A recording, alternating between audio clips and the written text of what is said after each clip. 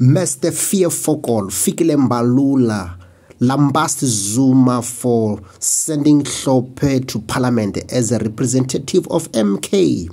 He says Zuma has spit in the faces of South Africans by allowing Hlophe even to go to JSC. By his word, this is what Fikile said in a press conference to lambast the former president.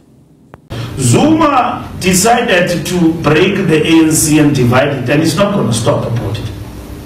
He decided to break us and uh, reduce us below 40%, and he doesn't have a program of action of what he's going to do with that 40% except sending a questionable judge to parliament. Very questionable character.